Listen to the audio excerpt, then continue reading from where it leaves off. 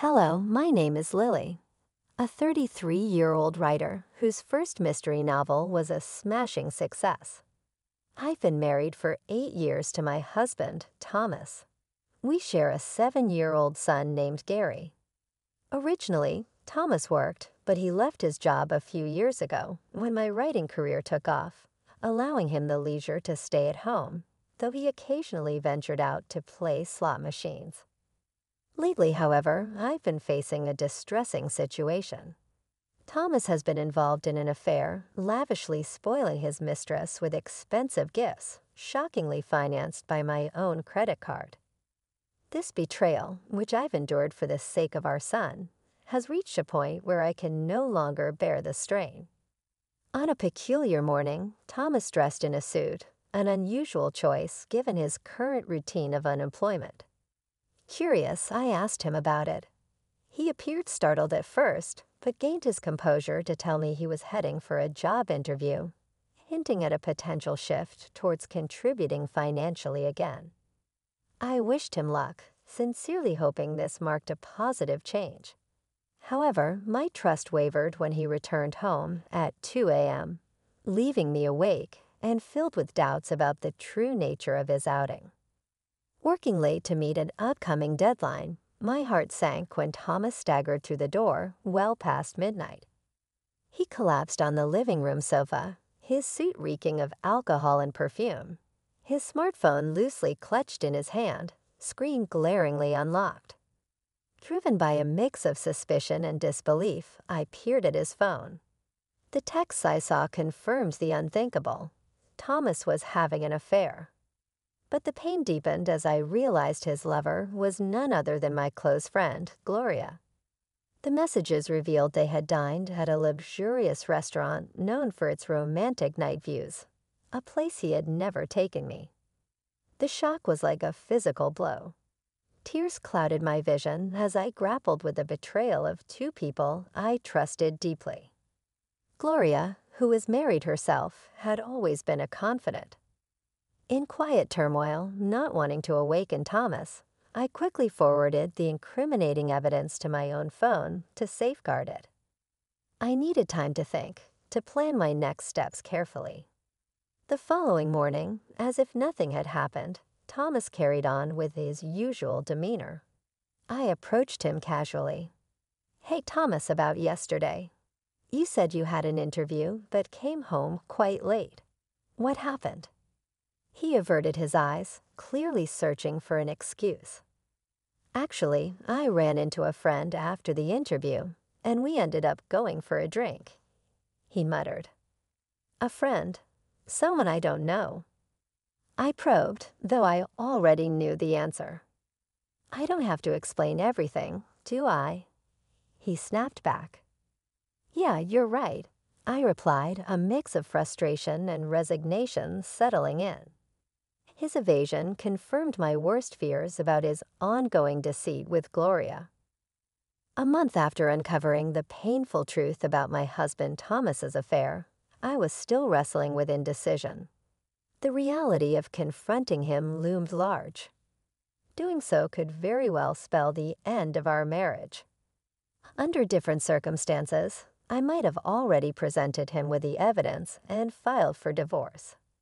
However, our son Gary, only seven years old, was my primary concern. I couldn't bear the thought of tearing his father away from him at such a tender age. Meanwhile, Thomas seemed to exploit my busy schedule. He began leaving the house more often while my days were consumed by writing in my room. Although this hurt, it also presented an unexpected opportunity to gather more evidence of his infidelity. During one of his outings, I sifted through his belongings and discovered a collection of receipts for luxury women's items, none of which were found in our home, nor had they been gifted to me. It was clear he was purchasing these for Gloria, but the source of the funds was baffling. He had no job and was living off the allowance I provided, which left no room for such extravagant expenses. Driven by a need to uncover more, I decided to follow him. But first, I needed someone to look after Gary. I called my brother, who was unaware of the situation. I'm sorry for calling you over so suddenly. I apologized when he arrived. No, I don't mind. But what's up? You suddenly said you want me to look after Gary, he inquired with a puzzled look. There's something I really need to go shopping for on my own, I explained, crafting a cover story. Shopping? You've never been materialistic. You usually shop online, he observed, clearly skeptical.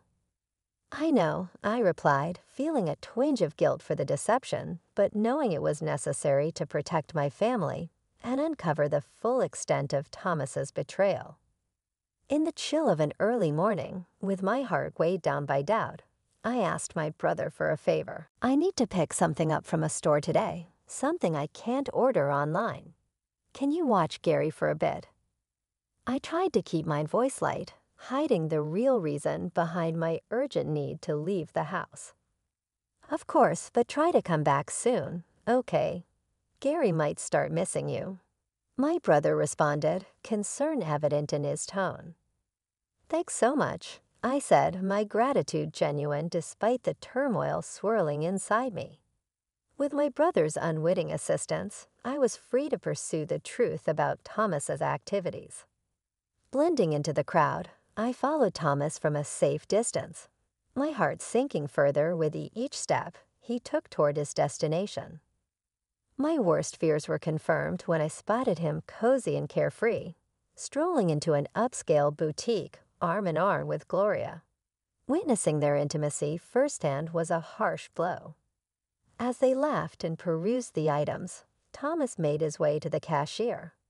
I watched, hidden behind a display, as he confidently handed over a credit card, the very card from the back of my drawer that was meant for emergencies. This secondary card, seldom used by me, had been his secret tool for financing these extravagant purchases. Realization dawned on me. I had been so engrossed in my writing and upcoming deadlines that I hadn't monitored our finances closely. Significant charges had accumulated on the card from my recent work related expenses. At all this time, Thomas had been adding his deceitful transactions to the bill. Both of our cards were linked to the same account, and I had missed the signs of his betrayal hidden amidst my expenses. Stunned by the depth of his deceit, not only had Thomas betrayed my trust romantically, but he had also abused my financial resources. I felt the last strands of affection for him evaporate. Self reproach mingled with my shock. I chastised myself for not noticing sooner and for allowing his duplicity to go unchecked. The realization of his double betrayal was a bitter pill to swallow, marking a turning point in how I viewed our marriage. Despite the crushing evidence of betrayal, I couldn't find it within myself to forgive Thomas. With a heavy heart, I documented his intimate moments with Gloria through discreet photographs before heading home. In the days that followed, I poured my energy into devising a plan to confront him. Whenever he was out, I scored his PC for more clues. Since his phone and computer were linked, I could easily access their communications, and it wasn't long before I uncovered plans for a getaway with Gloria over the upcoming holiday. A six day trip. This is my chance, I muttered to myself a mix of resolve and despair coloring my thoughts. I planned to confront Thomas and settle matters while he was away with his lover. However, I faced a significant obstacle our son, Gary. I needed to ensure he remained shielded from the painful truth of his father's affair, and executing my plan without him getting wind of any details would be tricky. Reluctantly, I decided to seek help from my brother once more. I hate to ask, but can you look after Gary during the upcoming holidays? I inquired, trying to sound casual. The holidays? You mean all six days? He asked, his voice laced with suspicion. Yes, I have something important to handle, I replied, trying to mask my anxiety. Something important, huh? He eyed me with a look that suggested he knew more than I had shared. His next words caught me off guard. Lily, you don't have to handle everything by yourself. What do you mean? I asked, my voice barely a whisper. Thomas is cheating, isn't he? He said bluntly. My heart skipped a beat. How did you? I stammered, but he cut me off. I heard it from Gary, he said gently. Gary, my son, knew. Even though he was just a child, it appeared he had picked up on enough to realize something was amiss. He had seen his father getting close to someone who wasn't me, and it had upset him. My brother's revelation was a stark reminder of how sensitive and observant children can be, even at a young age. It seemed Gary had sensed the tension and sadness in our home, further complicating the emotional landscape of our family. I had thought I was shielding Gary well from the turmoil at home. Why? My brother pressed gently, his words cutting through my defenses. Thomas's actions have hurt you enough for even Gary to notice. Are you considering staying with him? As I wrestled with the implications of a divorce, fearing it would deeply affect Gary, my son unexpectedly walked into the room. It's okay, Mom. I'm on your side, he said, his young voice resolute. I don't want anyone who makes you sad, Mom. As long as I have you, I'm fine. His words, so mature for his age, brought tears to my eyes. Thank you, Gary. I managed, my voice thick with emotion. Turning to my brother, I added, and thank you too. Bolstered by the support of my son and brother, I found the courage to face what needed to be done. Gary and I began to plan our move, timing it for when Thomas would be away on his trip with Gloria. My brother aided us in packing discreetly, ensuring everything was ready for a swift departure. The evening before Thomas was set to leave, I decided it was time to confront him directly. I found him packing a suitcase in our bedroom. Thomas, why are you packing a suitcase? What's going on? I asked, feigning ignorance. Oh, this? I'm going on a trip with some friends starting tomorrow, he replied, avoiding my gaze. A trip, why didn't you mention this earlier? I probed, pushing for more details. It was a last minute plan. Nothing serious. I'm using my monthly allowance for it, he said dismissively, his tone suggesting he wanted to end the conversation. Despite his discomfort, he continued to mask the truth. I took a deep breath and, in a calm, determined voice that I rarely used, asked, Are you sure it's just with your friends? Thomas visibly tensed, his shoulders twitching with nerves. Despite his obvious unease, he stubbornly clung to his lie. You are insistent, aren't you? He stammered. All right, I understand. Enjoy your trip with your friends, I said, the irony not lost in my tone. I would have enjoyed it anyway, he muttered, but the assurance in his voice was forced. With everything laid bare, I knew what needed to be done. My brother, my son, and my resolve had set the stage for a new beginning, free from deceit. The next morning, after he had left for his trip, I checked the drawer, and sure enough, he had taken my credit card again. I acted swiftly, calling the card company to report it lost and had it deactivated. When my son woke up, his eyes sparkled with excitement as he asked, Mom, today's the day, right? The day we moved to our new house. Any lingering doubts I had evaporated in that moment. Yes, Gary, I smiled, reassured by his enthusiasm. I've canceled the credit card, and now it's time for us to start fresh in our new home. With my brother's assistance, the move was seamless. We transferred our belongings to our new home, while my husband's things were sent elsewhere.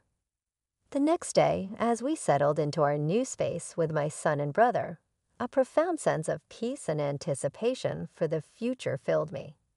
When my husband called, his voice came through the line hesitantly. Hello. Oh, Lily, what is it? Well, this trip is turning out to be more expensive than I anticipated. Could you possibly send me some money? I knew immediately that he was feeling the pinch financially because I had frozen the credit card. He was skirting around the real issue.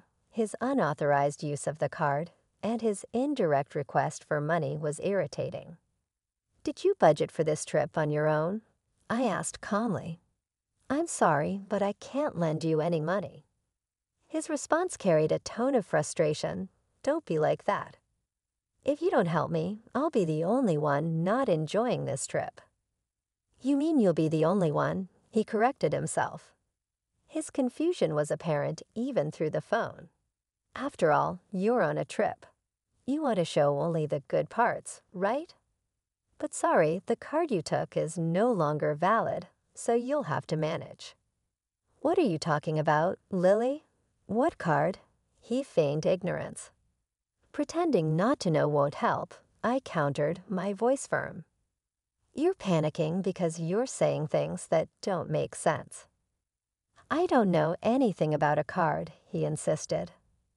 Enough, I exclaimed, my patience wearing thin. I already know you've been cheating on me with my best friend, Gloria. What did you think that I had no idea? Are you kidding me? It's obvious. No, it's not what you think. I'm not cheating, he tried to assure me, his voice desperate. I was furious that he continued to deny everything. Standing there with my brother and son next to me, all my pent up fury erupted. Stop making excuses. You had a family and you cheated with another woman. And to top it off, you've been using someone else's card. Do you even realize how despicable your actions are? Uh, Lily, let's calm down for a moment. He tried to soothe, but it was too late. The truth was out, and there was no turning back. How can I remain calm when I'm dealing with the person I despise the most? I seethed into the phone. Just so you're aware, I have no intention of forgiving you or offering you any help. And as for her, she can take her chances elsewhere.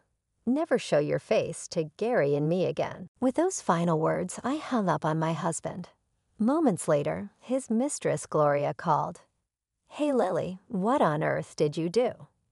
Ah, Gloria, long time no see. How's your trip going with my husband? I asked, my voice laced with sarcasm. Shut up and explain yourself. What are you talking about? She snapped back. Don't play dumb. You received Thomas's things at your house, didn't you? I replied, Indeed, when we moved out, I had directed all of my husband's belongings to be sent directly to Gloria's address. Given that Gloria was also married, her husband was naturally there to receive the shipment. This was precisely why I had sent everything there, along with a detailed letter explaining the entire situation. She yelled back, her voice cracking under stress. This isn't a joke. What have you done? My husband found out, and now he's furious. Well, you brought this upon yourself by choosing to have an affair while married. You were supposed to be my friend, and this is a betrayal, I retorted. You're the worst. I misjudged you, she accused. Excuse me. That's rich coming from you. I fired back. My best friend having an affair with my husband. How could you expect any forgiveness? I didn't mean it seriously. It was just a joke. I would never actually be interested in someone like him. She tried to downplay. I don't care if it was a joke or not. I'm filing for divorce anyway, and yes, you did have an affair.